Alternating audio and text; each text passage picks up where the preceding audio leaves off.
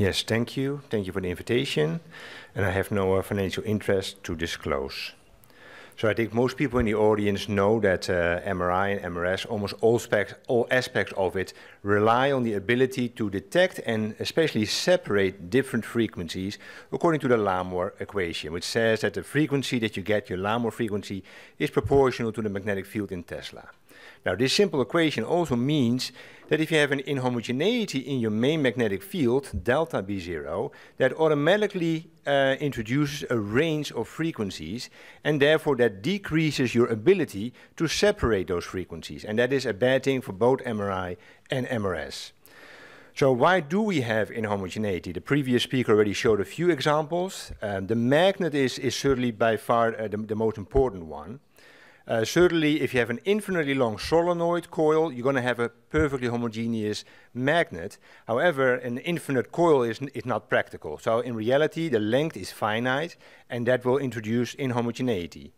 In addition, you're going to have many, many miles of magnet wire, and if they're not laid out perfectly, you're going to get manufacturing errors and also inhomogeneity. So this is a typical magnet, a six-coil design for 7 Tesla, and you can see that uh, within the diameter spherical volume, or DSV, your magnetic field is uh, close to 7 Tesla. And if you zoom in, if everything is theoretically perfect, the homogeneity can actually be very, very good.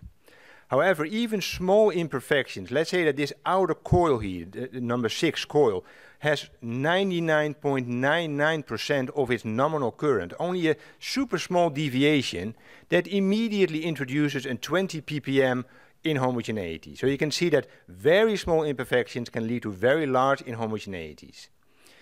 Uh, so magnet-related inhomogeneity can be large, but fortunately it is typically static. It doesn't change over time, and that's something that we can use. I'll show that later on. Other, other things that introduce inhomogeneity are the environment in which the magnet is standing and the stuff that we put into it. So the gradient coil introduces some inhomogeneity. Then we put a patient bed in front of it, which moves. That introduces inhomogeneity. And the RF coil and maybe metal beams around the magnet. And so all of those things introduce some level of inhomogeneity. But again, those are also fairly static. And so this requires a one-time compensation during the installation of the magnet and then you're done. And I'll show that a little bit later on. The problem that, that we as researchers deal with are mostly related to the sample that we put in, either a phantom or a human or an animal. Uh, the human, every human is slightly different, and so the inhomogeneity that this sample introduces will vary from human to human or from phantom to phantom. So the inhomogeneity that your sample introduces is relatively small, but it is subject dependent, and therefore you need to deal with it every time you put a new uh, subject in. It is mostly static, and there are some dynamic components related to breathing and to motion. I'm not going to talk about that today. But this kind of inhomogeneity requires subject-specific active shimming, and that will be uh, the, the bulk of my talk today. Let's first look at a little bit more detail on why do we get inhomogeneity at a fundamental level. So let's say that we have a very, very homogeneous magnetic field in a vacuum, and the homogeneity can be evaluated from these uh, magnetic field lines because they're perfectly equidistant. Equidistant implies homogeneous. Now, if we now apply the same magnetic field into a material, you can see that the magnetic field is now slightly higher. The lines are a little bit denser. And that is related by this equation that the magnetic field in a material is related to the magnetic field in a vacuum scaled by the magnetic susceptibility of the material. Now, there's basically three types of materials. If the susceptibility is less than zero, it's called a diamagnetic material, and water is the best example. In this case, the magnetic field will be slightly lower than the applied magnetic field. So if the magnetic field is 3 Tesla, in water, the magnetic field will be slightly lower than 3 Tesla, a few ppm. If the susceptibility is larger than zero, it's a paramagnetic material, and air is the best example.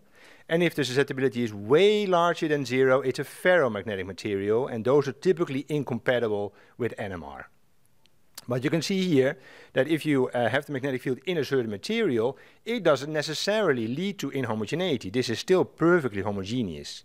The problem comes in if you have two materials with different susceptibilities where they meet at that boundary, that's where the problem comes in. So let's again look at a perfectly homogeneous magnetic field, and now we, we put a paramagnetic sample in there. Being paramagnetic, the, the, magnetic field inside the sample will be slightly higher. As you can see from the field lines, they're slightly denser. But there's a problem. If you zoom in, you can see that the magnetic field lines inside the sample and outside the sample, they don't meet up. They are discontinuous.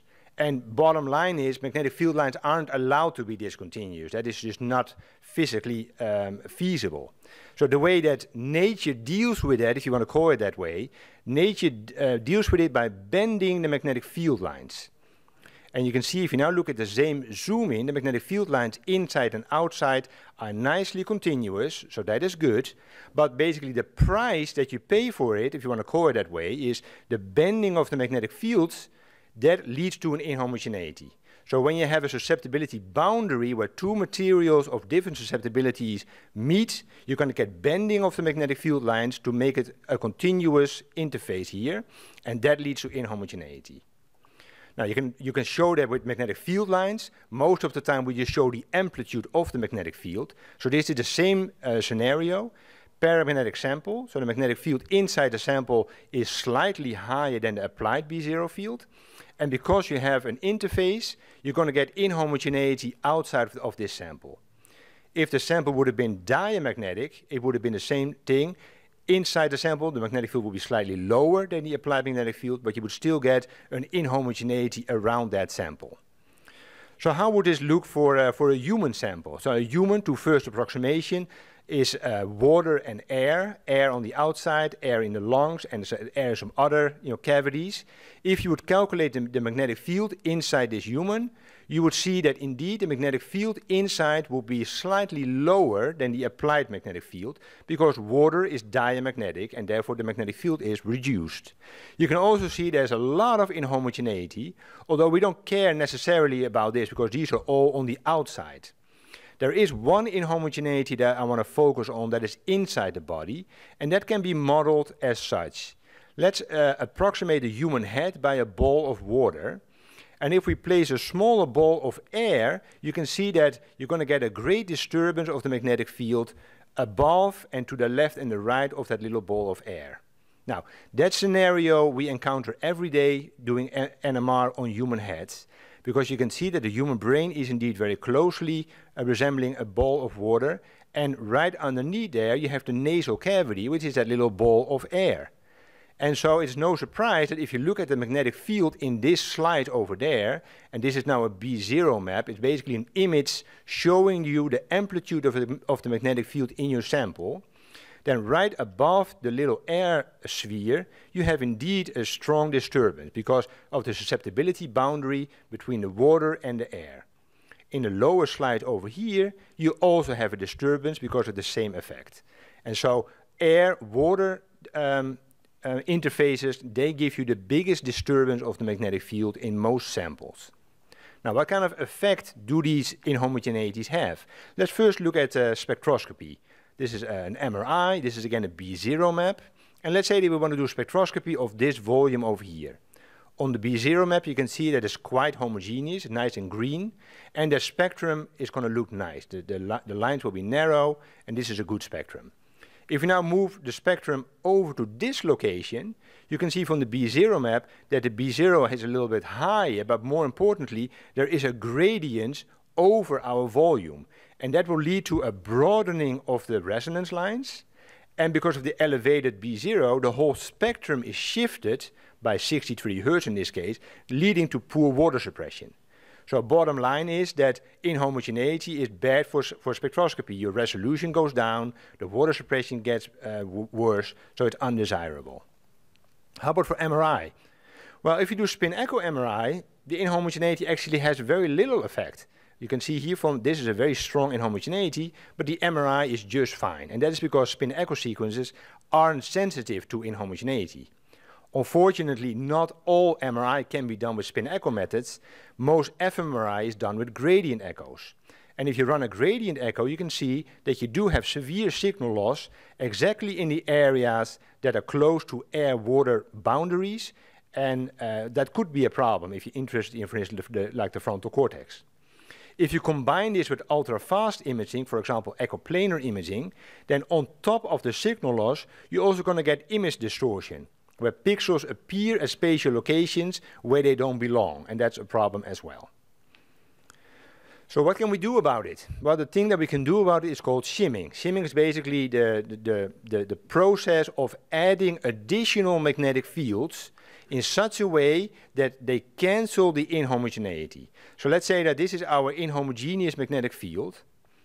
If we, if we can now find a magnetic field that we can add to this that is exactly opposing, opposing the blue line, then the sum of the two will give you a perfectly homogeneous magnetic field.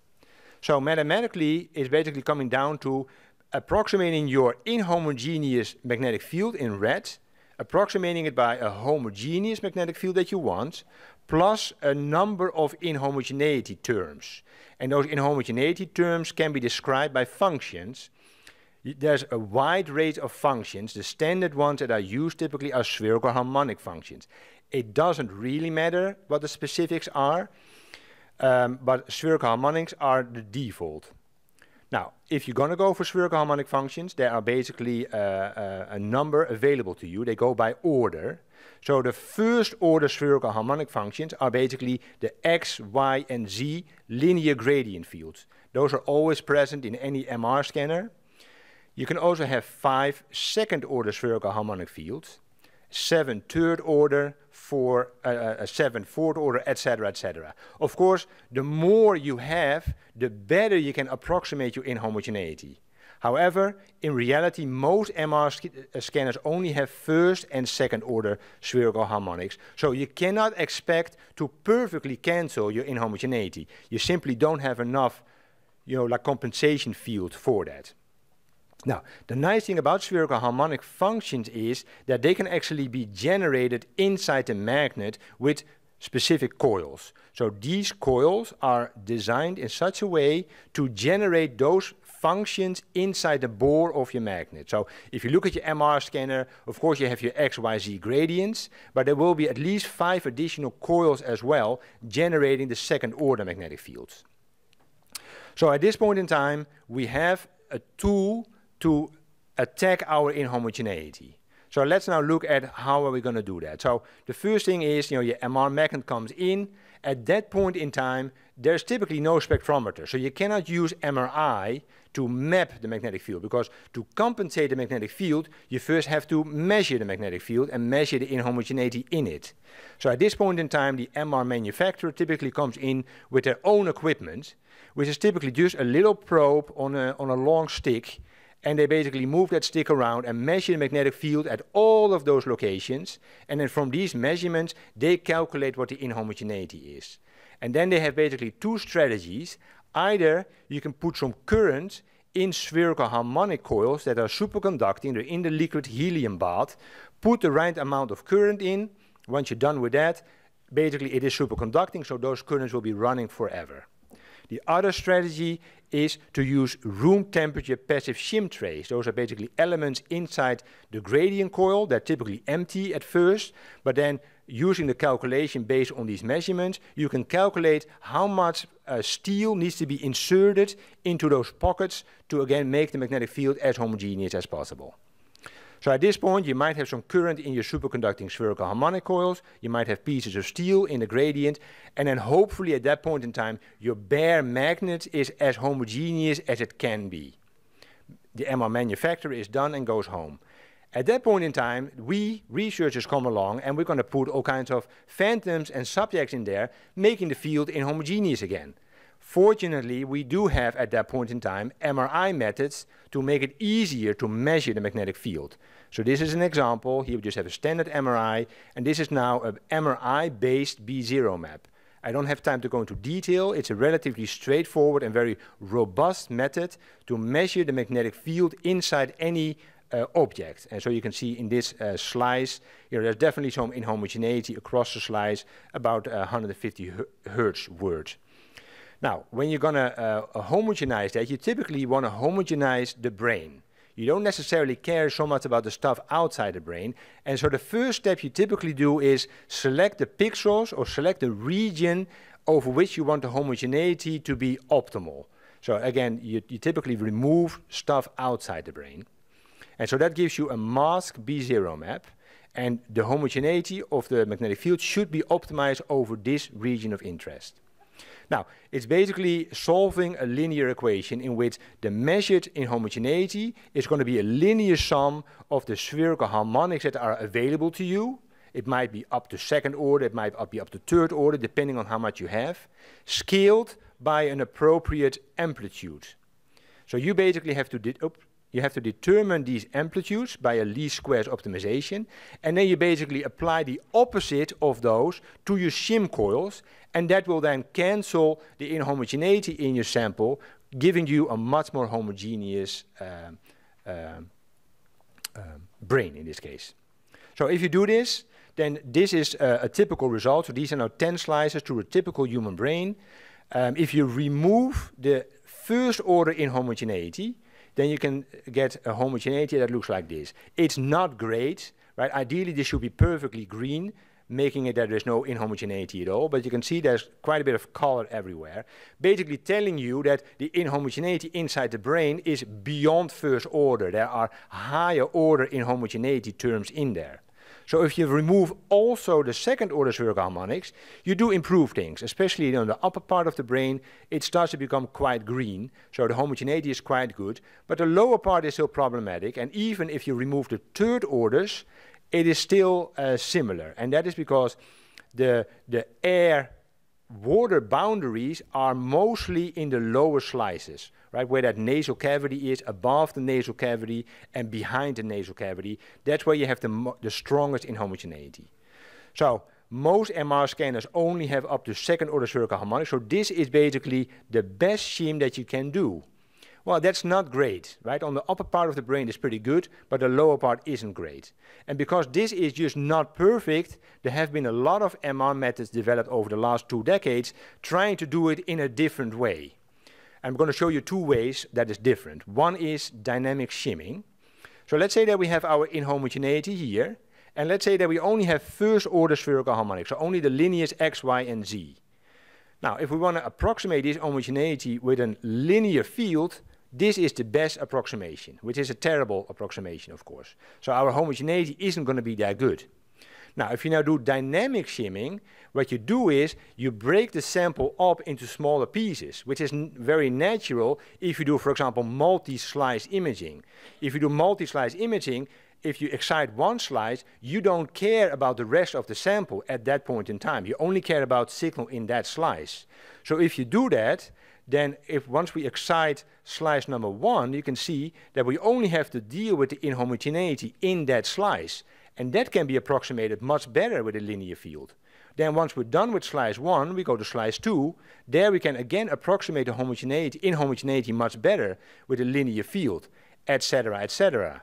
And so you can see that by breaking it up on a slice by slice basis, you can deal with inhomogeneity with much lower order magnetic fields than if you tackle the entire sample in one go.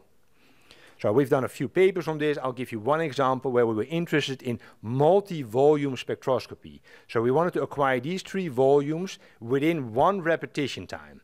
Now, as far as shimming is concerned, you can then do it two ways. You can either get a global shim that is optimal for all three volumes at the same time. That is the standard way of shimming. Or you can optimize the shim for that one first once you acquire that one, and then switch to a different shim once you excite and acquire the second volume. And then again uh, switch it for the third volume. Now, if you just use a single global static shim, then that is the dotted line, then the homogeneity in the back of the brain is pretty decent. In the middle, it's okay, but especially in the front, it is not very good. It's a very broad line and it's shifted uh, from on resonance, so your water suppression will be very, very poor. And this is no surprising, no surprise, because the inhomogeneity is, pri is primarily on the front. With a global static shim setting, you just cannot deal with that inhomogeneity. If you now do it on a voxel by voxel basis, you can see that every voxel improves, even the one in the back, but especially the voxel on the front gives a huge improvement in homogeneity. And so now we have near optimal homogeneity in all three volumes that would not be possible with just a single static shim. Okay, I want to show you one other alternative way of shimming. So let's have a look again at these two uh, slices where the main problems are. There's an inhomogeneity there, and there's the inhomogeneity there, and these two red spots are from the auditory tracts. Now, this is the inhomogeneity that we have to deal with, and this is a typical second order spherical harmonic field. Well, just looking at it visually, there's almost no resemblance. Right? We're trying to improve this inhomogeneity with this magnetic field. There's just no good match. So it's not surprising that we can't do a really good job. Now, what now if we now take a little DC coil, a circular coil, we put a little bit of current in it, and we place that coil in front of the nose. Well, you can just see by, by looking at it, this coil generates a magnetic field like this. That seems like a pretty natural match to this inhomogeneity. Similarly, if we put a little coil uh, with a little bit of current next to the ears, that looks like a pretty decent match. So spherical harmonic shimming is great. It has been used for 50 years. It, it, works beautifully on NMR tubes. It works beautifully on small localized volumes. It doesn't work all that great on the entire human head. So then at that point you can ask yourself, maybe it is time to switch to a different basis set. As I mentioned before, spherical harmonics is just one of an infinite number of functions that you can use. Maybe there is a better set of functions out there. And perhaps functions generated by just little circular coils might be a better choice. So we have been you know, pursuing that. We call that multi-coil shimming. So this is again the field of one little DC coil in a different plane now. Now, if you now take a whole bunch of these coils and you place them around the human head in two rows, uh, four rows of 12 in this case, and you make sure that every little coil has its own individual controller and its own individual amplifier, and you put the right amount of current in each of the coils, then ideally you should get a much better homogeneity than what we would get with spherical harmonic shimming. So this is what I already showed you. This is basically the best you can do with third order spherical harmonic shims. If we now use the multi-coil, you can see that indeed things are a lot greener. It's not perfect, but it is at least a lot better. And if we now use the multi-coil in a dynamic fashion, then you can see that it really starts to become very, very green. Again, not perfect, but very, very, very good. Uh, so Yale, we have used this multi-coil implementation now on, on the human brain at 7 Tesla. We've also done it on a mouse uh, head at 9.4, rat brain at 11.7 Tesla. But I'm actually very happy to see that as other groups are now picking up this technology as well. So for instance, the MGH group have applied it uh, at 3 Tesla on human brain. And what they have done is they've combined the RF loop and the DC shim loop into one and the same loop. So that is, of course, very efficient when it comes to space, and that works really, really well.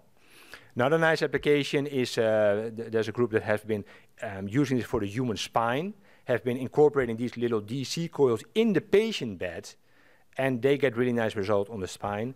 And uh, very recently, uh, they've also used it on ultra high field. So I'm very happy to see that this technology is being picked up. So in summary, I hope it's, it's clear that uh, magnetic field inhomogeneity is caused by a number of things. Uh, mag magnet imperfections and the environment of the magnet are, are important, but they only uh, require a one-time shimming during installation, and most of us are not involved with that, right? We only come in after the magnet has been sufficiently uh, homogenized. We need to deal with our subject and phantom-dependent magnetic field, uh, magnetic susceptibility boundary, sorry. And that requires an active approach. So you do need to acquire a B0 map on every subject or on every phantom, calculate the inhomogeneity from that, and then calculate what the compensation fields need to be. It can be fast, it can only be one or two minutes, but it does need to be done on every subject. Now there are also dynamic magnetic susceptibility variations because of breathing, because of motion, there are techniques to deal with that. I didn't have time to, to go in, unfortunately. Spherical harmonic shimming uh, is, is, is by far the default. Every MR scanner out there has spherical harmonics available. If nothing else, just the X, Y, and Z gradients. And they are great if you do small localized volumes uh, for spectroscopy using up to second order, gives you good homogeneity for most locations in the brain. But if you want to go beyond small volumes, you want to go to slices or for larger volumes, you do have to get higher order spherical harmonics. And if you don't have those, well then there are a number of alternative techniques. Uh, so you can actually purchase very high order spherical harmonic shims, and that is a good approach. Uh, you can also do dynamic shimming, as I, as I showed you, or you can um, uh, apply multi-coil shimming, which seems very promising. And that's, of course, my, my personal favorite, if you will. Um, I hope that you enjoyed this talk. If you did, uh, I can, uh, I can uh, guide you to the YouTube channel that I'm starting. Um, I have a number of videos on there now, and I'm planning to put up a whole bunch more. Um, you can also read about MR spectroscopy and what shimming does in, in the third edition of my book. And finally, I would like to thank uh, the, the, colleagues at Yale University and especially uh, Christoph Juchem at Columbia, uh, who have done a lot of the work that I've shown today. And I would like to thank NIH for their funding, and I would like to thank you for your attention.